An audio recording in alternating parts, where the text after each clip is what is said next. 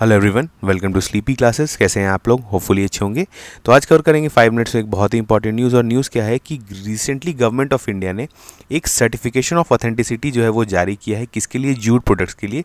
In the form of jute mark India logo एक एक तरह का लोगो होगा, जो कि इंडिया में जितने भी जूट प्रोडक्ट्स हैं, चाहे वो डोमेस्टिक मार्केट में सेल हो या एक्सपोर्ट हो, उस पर ये लोगो लगेगा और ये उस प्रोडक्ट के ऑथेंटिसिटी के बारे में बताएगा।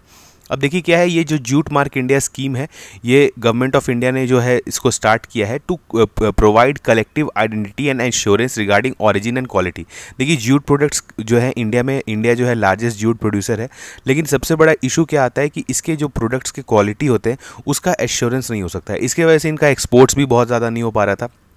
तो जैसे ही ये स्कीम आएगा, इसके थ्रू जो है एक सर्टिफिकेशन होगा, एक लोगो प्रोवाइड किया जाएगा तो एक ऑथेंटिसिटी पता चलेगा कि ये प्रोडक्ट कहाँ से आ रहा है, ठीक है? इसका ऑरिजिन क्या है और इसका क्वालिटी क्या है? जैसे आप सुनते होंगे जोग्राफिकल इंडिकेटर जो जीआई टैग होता है, वो भी इस तरह से दिया जाता है कि ये प्रोडक्ट कहाँ से ऑरिजिन हो रहा है, ये ऑथेंटिक प्रोडक्ट है। तो उससे क्या होता है कि उसका एक्सपोर्ट चांसेस या चांसेस ऑफ़ एक्सपोर्ट या फिर डोमेस्टिक मार्केट में भी जो सेल्स है, वो बढ़ जाता है, ठीक है? अब इसके बारे में थोड़ा सा देखते हैं। देखिए जेएमआई जो ये अभी हमने देखा, जो ये लोगो है, ये ऑलरेडी ये जो जेएमआई स्कीम है, ये ऑलरेडी इंप्लीमेंटेड है, एक अम्ब्रेला स्कीम चल रहा है for promotion of jute products in the country jute sector को प्रमोट करने के लिए।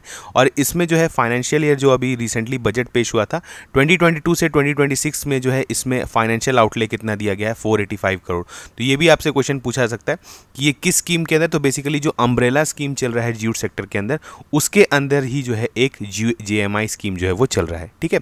अब चलिए आगे देखते हैं। इसमें होगा क्या कि देखिए इसमें क्यूआर लगा रहेगा। अब एक हर जूट जूट लेबल में जो जो भी प्रोडक्ट है, उसके रिलेटेड एक क्यूआर लगा रहेगा और अगर क्यूआर को कस्टमर स्कैन करेगा तो उसको सारा चीज़ जो है वो पता चल जाएगा कि ये ये प्रोडक्ट कहाँ से आया है, इसका प्रोड्यूसर कौन सा है ठीक है? और भी जो जो इन्फॉर्मेशन जो कि क्रूशियल हैं फॉर देयर सेलिंग वो सारा जो है इस क्यूआर में कंटेन रहेगा। तो ये बहुत ही एडवांस तरीका है और बहुत ही अच्छा तरीका है और इनोवेटिव तरीका है for promotion of jute products ठीक है? अब इसको इम्प्लीमेंट कौन करेगा? इसका नोडल एजेंसी कौन होगा? तो नेशनल जूट बोर्ड जो कि आप जानते हैं मिनिस्ट्री ऑफ़ टेक्सटाइल के अंदर आता है।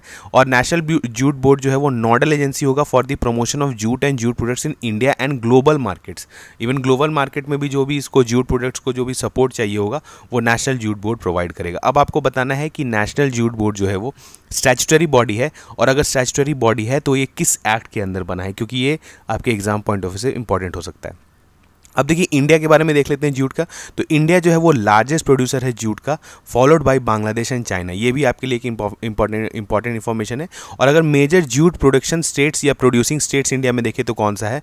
आसाम बिहार, वेस्ट बंगाल, उड़ीसा एंड आंध्र प्रदेश। बेसिकली जो आपका जो गंगा और ब्रह्मपुत्रा का जो आप बोल सकते हैं एक तरह से प्लेन्स है, वहाँ पर जो है इसको खासा उगाया जाता है क्योंकि आपको पता है जूट के प्रोडक्शन में और एक बहुत इंपॉर्टेंट प्रोसेस होता है जिसको हम लोग रेटिंग बोलते हैं।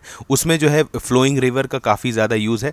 अगर आपने जूट के बारे में पढ़ा होगा तो आपको पता होगा। तो इसी कारण जो है यहाँ पर जैसे बिहार, असम, वेस्ट बंगाल, जहाँ पर ब्रह्मपुत्रा, गंगा, इनका फ्लो ज़्यादा है तो इससे यहाँ पर इनका जो है कल्टिवेशन और प्रोडक्शन जो है वो ईजिली होता है। ठीक है तो एक छोटा सा न्यूज़ था, जिसको हमने फाइव मिनट्स में कवर किया, ऐसे ही इंपॉर्टेंट न्यूज़ हम लोग फाइव मिनट्स में कवर करते रहेंगे। तब तक थैंक यू